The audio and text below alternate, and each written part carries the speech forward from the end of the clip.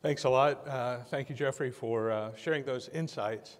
And we transition uh, from, you know, kind of uh, business prioritization a little bit more into some of the technology enablers. And uh, certainly all of the things that Jeffrey talked about and that we heard from Don and the team yesterday, there's tremendous pressure on digital transformation and modernization of our businesses, and certainly in the face of uh, volatility, whether it be global pandemic, whether it be uh, geopolitical volatility, whatever, you know, these things seem to be happening faster. And the best way that we can all be successful is to have all of the information that we need available to us at the right time to make those decisions, especially in the transformation zone that, that Jeffrey talked about. And so, uh, what I'm uh, hoping to do today with you in, in the time that we've got together is to really introduced to you this notion of smart data fabric and how that, uh, not a technology, but really a framework for how to think about data and uh, integrating data assets for the, the benefit of your business.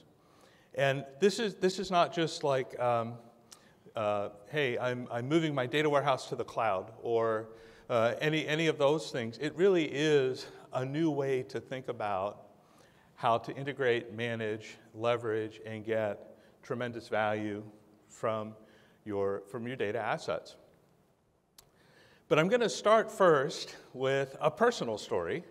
Uh, and, uh, and I promise there's a point to all of this um, because I've actually experienced uh, uh, the need for a smart data fabric uh, myself. So, uh, some people are big baseball fans and they collect you know, baseball cards or they make annual trips to Cooperstown you know, kind of have a passion for the statistics and the data, and, and, that's their passion. sadly, I don't have a hobby that's uh, quite as cool as that, but uh, I happen to collect old fountain pens. And so I guess that makes me a very analog person in a digital world. Uh, but my love of fountain pens, you know, started 36, 37 years ago, and you know, I started running around to antique shops and flea markets, and you know, buying these pens. And I thought, wow, they're really they're pretty, they're functional. Uh, they're certainly the original data entry tool, uh, as it were. And, uh, and so you know, I started to uh, learn more and more about these pens. And then in 1987, uh, something happened that was very uh, instrumental in, in you know, my maturing as a collector, and that is I attended my first fountain pen show at the Days Inn in uh, Newark, New Jersey. And by the way, I've been speaking with the marketing folks about the Days Inn in uh, Newark, New Jersey, and they're thinking it might be a great place for Summit next year. So um, it's inexpensive, uh, so, and it's easy to get to. But in any event, um, the thing that was interesting about this is that now I wasn't going to individual dealers and making transactions, but I had a whole bunch of folks with lots of inventory. Folks were informed about fountain pens and lots of selection, and a lot of dealers together so that I could actually learn a lot more, uh, a lot faster. And on that day, um, I bought my first, you know, serious pen for uh, $225. It was really pretty. I'd never seen anything like it. It was very artfully put together. Uh, and, and, I, and, it was a choice between that one. There was another one that was also very pretty, but it was $400. And I, well, I thought, well, I'll, I'll go with the one for uh, 225 And it was a great, uh, great learning experience. But then, after all of that, something happened in the 1990s with the advent of online auctions. And so now I wasn't relegated to an individual dealer or whatever dealers happened to be in the ballroom in uh, Newark, but pretty much everyone around the world with a shared interest. And it, it really changed uh, the way I approached the hobby, and there was a lot more information because data really drives efficient markets. I was now able to connect with folks all over the world. I could actually understand how many of the things there were, how much they should be, I could start to get a lot of data points, how much it sold for here, how much it sold for there. I could de-risk my transactions because I had you know, known dealers and, and known items.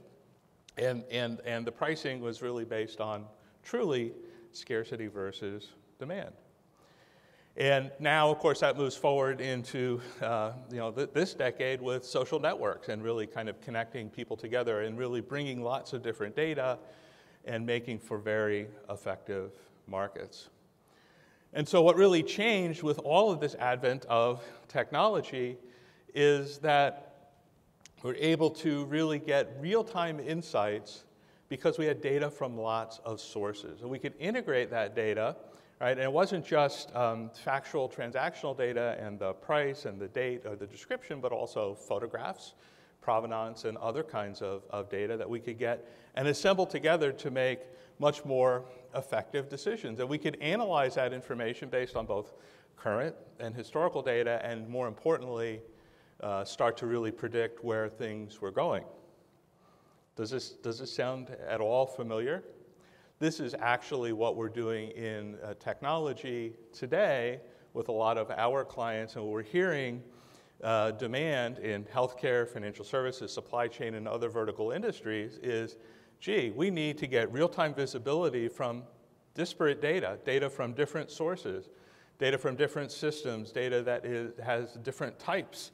Uh, we need to be able to integrate that quickly so that we can respond uh, very effectively to the competition in the marketplace. We can create better outcomes, we can manage our risk, we can manage our compliance, and all of those kinds of things, and do a much better job because we're now data driven. So I use the pen analogy um, and um, to kind of move into you know kind of the impact of technology and connecting data. But there's one difference between the pen analogy and how we operate our businesses. In the pen analogy, I, I became kind of an expert on all things pens. Okay, it's a little bit nerdy, but I am kind of an expert on all things pens. Great. In our businesses, because of the, you know, the number of connections we have, the number of touch points, the number of lines of business, every employee can't be as informed and sophisticated as a specialist would, would be. And so the implication behind that also is that we really need to be able to provide and build uh, easy interaction for applications that can consume and disseminate that information in a way that can be understood at any point in the business. And so the, the, the idea of being able to integrate all of this data, but then transform that via application support so we can make everybody an expert and they have the advantage, right? So it's not just about data and connectivity, that's really, really important. But then how do we go deliver that in a consumable fashion that drives value? And so this really is our vision for smart data fabric. So data fabrics and data meshes are something that's talked about in the industry today. It's a concept that really is driven by a lot of things that we're all experiencing in the marketplace uh, today. We've got lots of data. Uh, our data is no longer only living in our own data centers, but it's living in the cloud. There's third party data, there's all kinds of different data that needs to be integrated. And so it's really driving this new notion and new architectural approach. And it's got a couple of key characteristics that make it smart. And we call it our smart data fabric because we're really trying to do a much better job than some of the, some of the um, traditional technologies by adding in that application layer so we can really deliver those insights in a consumable fashion. So the key characteristics, right? Connectivity. You've got to be able to connect the data. And this is a new concept, right? It's no longer about consolidating data into a data warehouse or into a data mart because it might be physically impossible, and frankly, it will just take too long. So we need to be able to connect data at the source where it's created, whether it's in the device, whether it's in the cloud, whether it's third-party data that we're consuming, whether it be in our internal systems, whether it's uh, on-prem, whether it's in one cloud or another. We'll be able to connect it and create that provenance so that, it's, uh, that it be, can become trusted. And that ultimately is integration. Integration is more difficult than ever because data has different formats and different standards. And you know, there's a FHIR standard and an HL7 standard in, uh, in healthcare. We may be getting uh, text documents from a news service from Bloomberg off of the web, and we want to disseminate that using AI to drive some sort of sentiment analysis, right?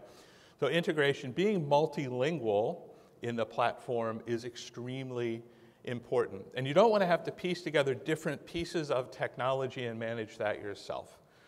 So connect it, integrate it, and then make it self-service. All right. We talk about scalability a lot in the, in, uh, in the technology business, and scalability is hugely important, but I think self-service is kind of the next frontier of scalability because certainly we need to consume and manage large volumes of data. We need to be able to do it in, uh, in real time. Uh, we, able, we need to be able to linearly scale. But ultimately, it's that point of interaction where the value is created. So, creating a self service environment so that we can scale it out to the endpoints or to the edge uh, of our business is extremely important. More and more, we need to build in analytic content because the speed of decisions that are required and the sophistication of some of those decisions may be beyond uh, some of the folks in your business because, again, they may not be experts in everything in the full breadth and depth of, of what's going on. So, being able to prepare some analytics to help them, whether it be um, um, yesterday we saw our, our rules editor uh, in, in the HealthShare stack and being able to provide kind of a, a clue is like, yeah, if this happens, then, then do this, and, and help kind of automate those processes and do it with a level of sophistication that is not just rules based, but also may include some other analytic content or machine learning algorithms to really enhance the sophistication of what we're able to deliver. And last but not least, multi cloud portability. The cloud is obviously a huge enabler of this data explosion that we have, and those technologies and architectures that are being defined in the cloud environment today are driving ex- uh, extremely high amounts of value, but they can also uh, drive uh, some issues in application deployment. So remember, I said before that kind of that last mile of where you really get the payback from your smart data fabric is in being able to deliver applications. Well, if those applications are using a very specific uh, set of cloud based tools, it may be very hard to move or have those applications be portable to a different cloud when you need to change. And so, if you go into a new region, you have an acquisition, maybe a strategy change, and you want to change your cloud, you want to make sure that your applications are portable, regardless of what, uh, which cloud, which public cloud you've chosen, or on prem, or any combination of the above. And it really gives you uh, that highest level of, of, uh, of agility. So the, these are the five key components that we talk about in, in, when we're defining our smart data fabric strategy. And ultimately, it's really about driving value out of all of that data uh, at the end of the day and being able to lower risk, have improved compliance, have better patient outcomes, reduce cost, uh, and have higher operational efficiencies uh, out there. So this is uh, all powered by InterSystems Iris, and this is really the bar that we set when we're thinking about um, how, uh, how we want to invest, how we want to build new features and functions and capabilities, is, is how do we expand our data platform to really make it the most sophisticated tool to enable a smart data fabric. This is not a new concept for us because you know, Iris at its beginning was really a design philosophy around having technology that enabled us to be interoperable, right? You need to connect and integrate data. About being resilient needs to be supportable, um, it needs to uh, be capable. About being intuitive, being able to build applications in the native language that your application developers understand without having to learn anything new and being scalable, uh, being able to support the highest volume and the highest demands that are out there. And so this isn't a new thing for us in building the Iris Data Platform, but it certainly is an expanded set of capabilities that we're looking to deliver. And uh, the, the, good news is if you're, if you're running uh, some of our uh, legacy products at Cache, it's never been easier to upgrade and migrate, and it's free to do it, to Iris and take advantage of all of these capabilities that we've built into our smart data fabric. So this is, uh, this is the landscape that we're building in. Uh, we're certainly far from done in how we're investing and how we're delivering. And at the conference, at, at the, uh, at the breakout sessions this afternoon, you'll hear about the latest capabilities that we're uh, building into Iris to make it easier. I'll highlight a couple here that, uh, of interest, not that all of them aren't, uh, aren't interesting. But we launched recently our version of embedded Python. And I mentioned uh, before uh, that application support, multilingual support, is a really important thing for us in delivering the smart data fabric and being able to have true application portability. And we've actually now moved Python inside of the kernel of Iris, so it's now a first class language. Uh, and uh, you can add that to the other languages that we speak that you can use to deploy and build decision making applications for your companies. So you can now use uh, Python, and this is a true open version of Python with all the latest libraries. It also, the, uh, the implication there is most machine learning algorithms are written in Python as well. So you can have them run inside the kernel, so you can bring the analytic to the data instead of bringing the data to the analytic. It's a much more efficient way to go process, gives you better, uh, better time, to, uh, time to value, as well as uh, overall better performance. I'm going to talk a little bit more in a slide or two about our new cloud-based services, and we have a whole suite of services to make the technology easier to consume and more economical for you to consume, whether it be in the cloud or, uh, or on premises. We've got a lot of innovation around uh, the FHIR standard, the, the rules editor, which you saw, saw yesterday. And then finally, we're, we're talking here in the Tech Exchange, we're launching uh, for developer preview our columnar storage, which for analytic kinds of uh, workloads can be very beneficial from a total storage and the total performance uh, aspect. So talk to some of our experts in the breakout sessions later or um, uh, in, in, at, at, our uh, tech center uh, to see if it might be something that's applicable for your use cases. Anybody hear about this thing called the cloud and it's kind of important out there? I don't see any hands. Anybody awake? There you go. So, our smart data fabric needs to traverse all kinds of implementations, um, whether it be uh, you know, racks of servers that you've got on prem or multiple different clouds.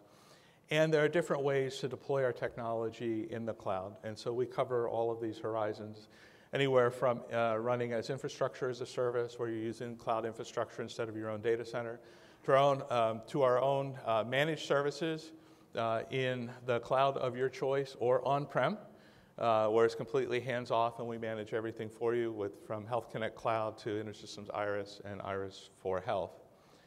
And we've started building out a whole suite of SaaS offers that we think ultimately will be interesting and help you again uh, get things done without having to uh, make a lot of upfront investment, so quicker time to value. And so we have three new services that we're launching here at uh, Summit, as, uh, and they join the services that we, that we launched previously um, that are all based on Iris technology. Now, we talk a little bit about our strategy in offering uh, these um, uh, SaaS offers. We're actually going to do it in a bifurcated way. We're going to have a set of horizontal services that are useful for application developers, and uh, two of the services that we're launching here are those services, so Iris Cloud SQL Database and Iris Cloud Integrated Machine Learning. All right, so these are key capabilities that are a, a function of Iris that you can now spin up uh, as a pure SaaS model in the cloud and pay just based on the consumption of your applications. Uh, we'll be adding to that suite of horizontal uh, um, offers over time, things that we think uh, and that we hear demand uh, from our application development partners who want to go use those services. We'll also be building out some vertical stacks of uh, application widgets that we think are, are valuable and interesting in vertical industries. And so starting in healthcare, We've standardized around uh, the FHIR standard and the FHIR API with our uh, FHIR server, which is very high performance, again, uh, on-demand, consumption-based kind of model. It uh, publishes and subscribes FHIR messages, um, and it's all compliant to the standard. We've also got our FHIR message transformation service. If you've got HL7 messages, and coming soon we'll be supporting some other uh, message types coming in and we'll, we will convert them into the FHIR standard and load them into um, the FHIR application server. And you saw a preview yesterday of our FHIR SQL Builder. Once you've got data into the FHIR uh, server and you want to do some analytics, you got the FHIR SQL Builder to kind of help create that roadmap and understand what data you've got access to and be able to build these workflows very quickly uh, and again on a consumption-based model. Uh, use them when you use them and when you don't need, when you don't need them, uh, you can spin them down. Uh, they're fully elastic uh, SaaS offers. And we'll look to build out more widgets in our App Store for the FHIR vertical, and there'll be other verticals coming, uh, coming soon.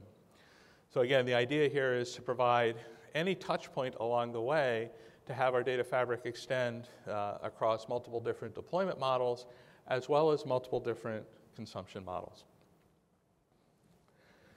In the Tech Exchange, uh, hopefully, uh, if you haven't had a chance, I, I, encourage you to come down to the Tech Exchange and you'll get to see all of the technologies that I talked about uh, that are key enablers for a smart data fabric. You'll also, um, if you come down later this afternoon, uh, we're going to have um, an open mic session with myself and a couple of uh, colleagues from the development team at Iris, so you can answer your questions and talk about any, pretty much anything that's on your mind. Um, and we look forward to that interaction. And we'll also be doing a preview of our Smart Data Services vision. And Smart Data Services another consumption model on top of our Smart Data Fabric. Uh, and show you some demos and some of the things that we're thinking about. And we'd love to interact with you and get your feedback uh, on, on those things that we're building uh, for the future of Iris Data Platform and, and our consumption models. We've got a very full day for, for the rest of the day with, uh, uh, with all of our breakout sessions this afternoon, anywhere from uh, education to uh, vision to real world examples. And we, we encourage and invite you to uh, take advantage of as many of those sessions as you can today.